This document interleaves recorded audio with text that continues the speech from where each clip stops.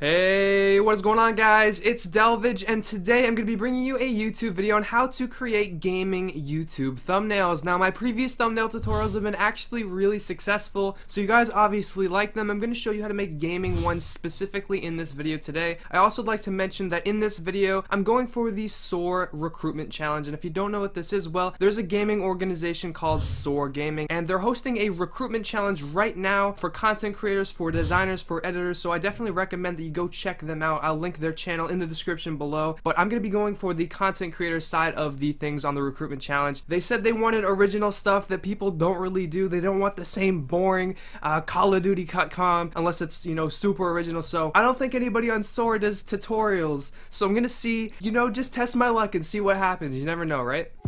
got a permanent cough. Popping them pills again. Think was my dog. Now you're not my friend. Turn myself into a boss.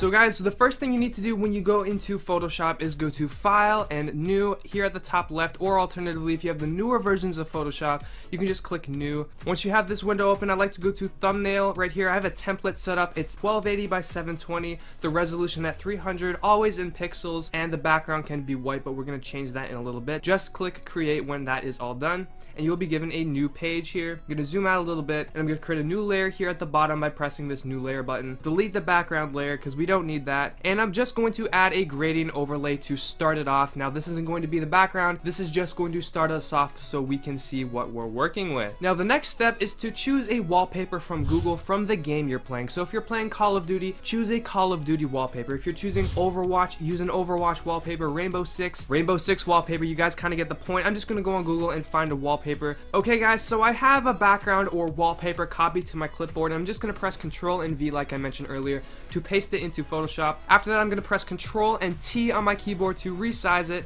I'm going to hold Shift and Alt at the corners and just click and drag to make it smaller while still maintaining the aspect ratio of the image. The next step is to add a few color corrections to the background. So the first thing I'm going to do is create a new layer and go to my brush tool over here at the left side. I'm going to go to the brush settings here at the top, change the hardness all the way down and the size can remain at about 700 and I'm just going to change the color to white here at the bottom, the foreground color and create a light. Just click very softly at the top like I did so, and it will create a light at the very top. I'm going to create another layer and move that below the light layer that we just made and go to black and I'm going to add some shadows on the sides here. Really simple, really easy to do. Just some shadows here at the bottom and the sides to create a bit of depth in the thumbnail itself. After that, I'm going to go back to our wallpaper layer and create some adjustment layers. Now you do this by pressing the create new fill or adjustment layer button here at the bottom and you can play around with these. I'm just going to personally add some vibrance and turn that all the way up and I'm also going to add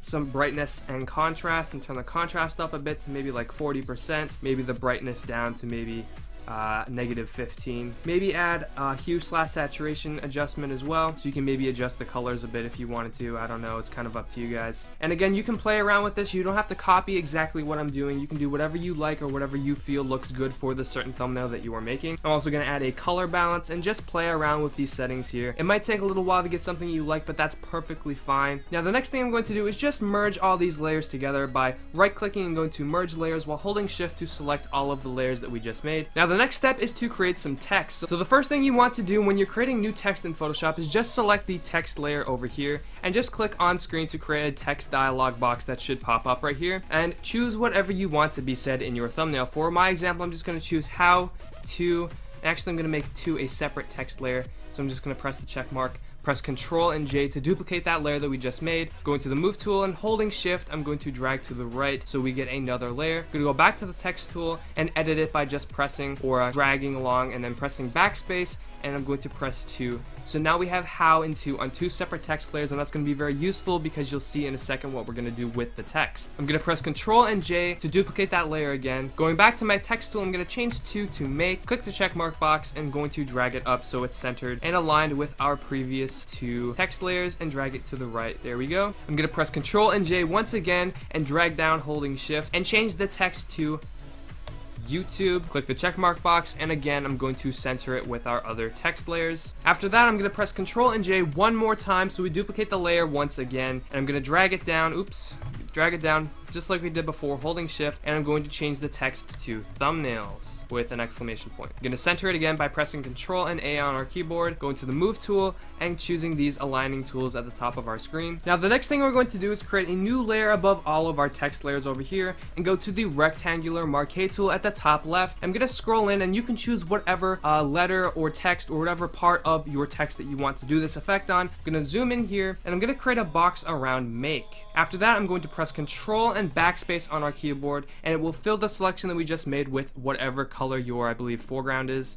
or background color, my bad. I'm gonna drag that layer underneath our make layer, and now we have color behind our make. I'm gonna make sure it's centered by selecting make here, holding control on our keyboard and selecting the text or the make layer in our layer panel. I'm gonna go back to our rectangle layer that we just made, go to the move tool and press the two middle aligning buttons like we did before. And as you can see, it creates a cool effect. And I'm actually going to change the color over here to a purple uh, just because it fits the SOAR RC recruitment challenge, right? Now, the next thing I'm going to do is create the same exact effect that we just made on our make text on our thumbnail text at the bottom. So I'll be right back. I'm going to speed through it because I've already told you guys exactly how to do what I'm about to do. So let's get to it.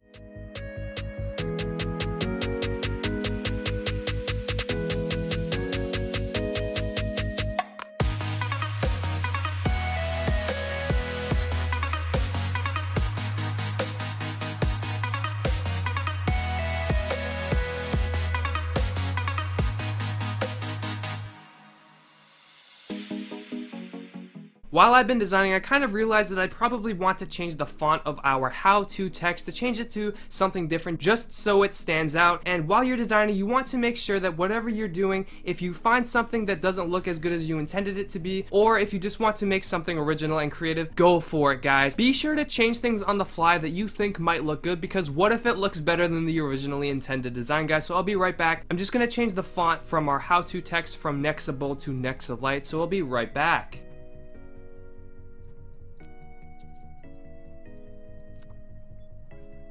Okay guys, so we've changed the font and one final thing I'm going to do with this text is holding control on my keyboard. I'm going to go to our thumbnails text layer. I'm going to hold control and select the layer on our layer panel. After that, I'm going to go down to the box layer that we created for thumbnails and press delete and it will delete the text on our box layer. So as you can see, it creates an outline of our text in the box layer without actually having the text layer itself. Once we're finished with that, I'm going to merge all these layers together holding shift and just clicking merge layers rasterize layer style, and then merge layers, and it will create all of the text on one layer for us. I'm to create a new layer above that, drag it underneath the YouTube layer. I'm going to hold control on my keyboard once again to select the text layer, go to select, modify, and expand, I'm going to change it to about 20 pixels. Press enter or OK, and then press again control and backspace on your keyboard and it creates an outline around the text that we just made. Now obviously the color is not going to be that.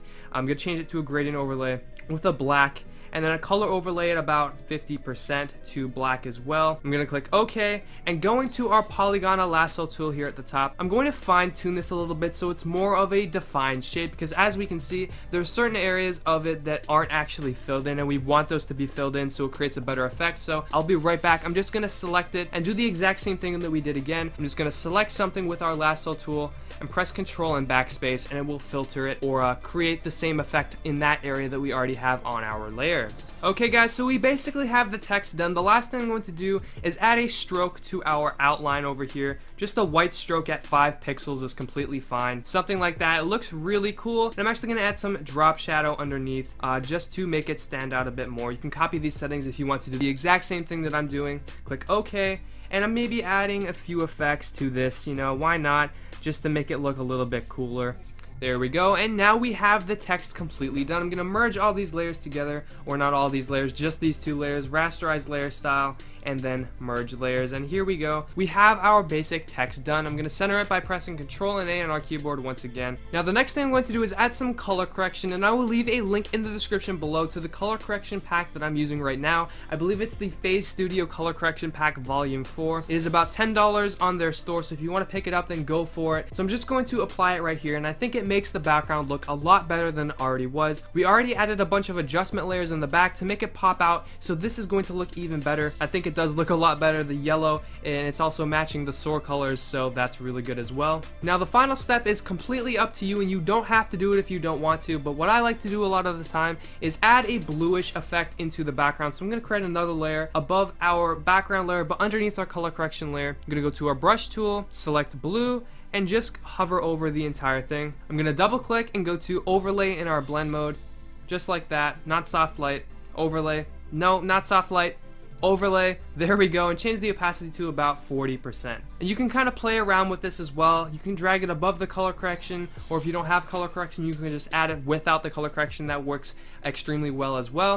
And if we want to erase certain parts of it so it's not as blue in some areas as it is in others, all we have to do is go to the eraser tool and just erase the areas that we don't want to be as blue so it stands out more. So maybe the areas that are more yellow, you don't want the blue there, so you'll erase it in those certain areas. Now the final thing to do for this thumbnail is completely up to you. You don't have to do it if you don't want to, but you can add some personal stuff to it. Like if you're playing Call of Duty, you can add a soldier in the background, or if it's for a gaming organization like the one I'm making right now, you can add their logo in the background. But personally, I'm just gonna do something random, so I'll be right back. Okay guys, so I have a picture of Reaper from Overwatch here. I grabbed it from Google, and you can do the exact same thing if you want. I believe it's his Nevermore skin or something like that. I'm gonna press Control and T on our keyboard. I'm gonna right click and go to flip horizontal just because I want it on the right side of the image looking left. I'm going to press the check mark box at the top. I'm going to move it to the right side. I'm going to move our text to the right a little bit so it creates more space. And I'm actually going to move the text above our Reaper so that we can read it because the Reaper was covering it. That's basically how you make a YouTube gaming thumbnail. Now obviously you can add a bunch more effects, you can add more color correction, you can add more crazy stuff in the backing, but